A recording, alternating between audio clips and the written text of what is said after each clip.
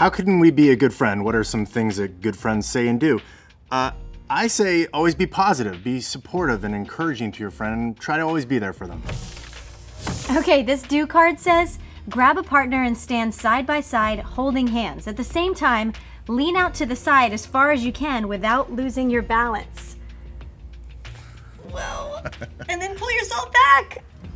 Great job. That was easy. Yeah, we're professionals.